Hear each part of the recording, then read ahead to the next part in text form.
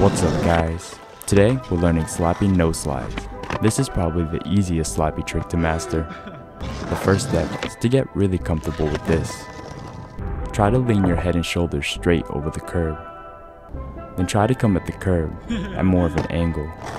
And try to use the momentum to push yourself forward.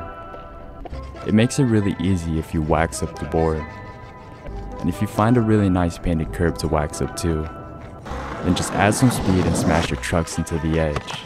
And just try to let the momentum carry you through this trick.